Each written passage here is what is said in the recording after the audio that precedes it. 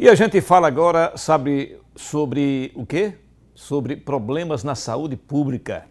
É verdade. Olha, o Hospital São José suspendeu atendimento a conveniados do IPS Saúde por causa das dívidas.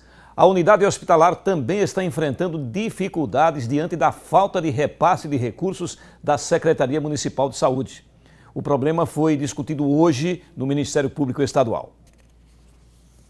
Representantes do Hospital do IP Saúde da Prefeitura de Aracaju se reuniram hoje pela manhã para discutir o problema.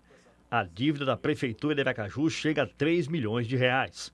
Parte deste débito foi negociada e a outra parte deve ser paga depois. A dívida do IP Saúde chega a 7 milhões de reais. Os representantes do Instituto vão se reunir com a direção do hospital para discutir o pagamento da dívida. Até sexta-feira, IPS e São José vão sentar para ver qual realmente o valor devido.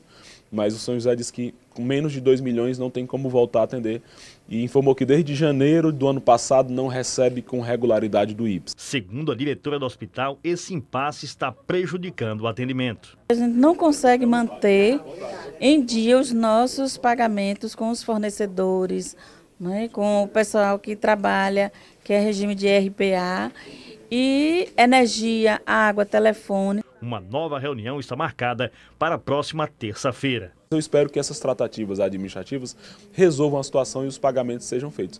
O que, nos, o que é importante para a gente é que o São José não feche. Volte a atender IPS e não pare de atender SUS. Né? Hoje ele está atendendo SUS, não está atendendo mais IPS.